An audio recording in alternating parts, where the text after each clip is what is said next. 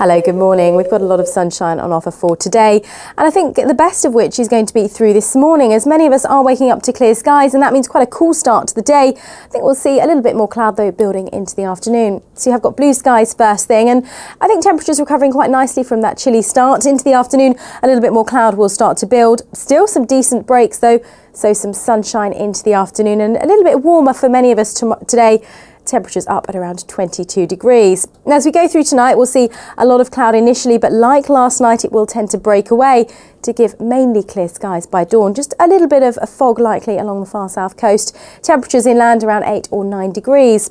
That means for tomorrow, another bright start to the day. Again, the best of the sunshine first thing.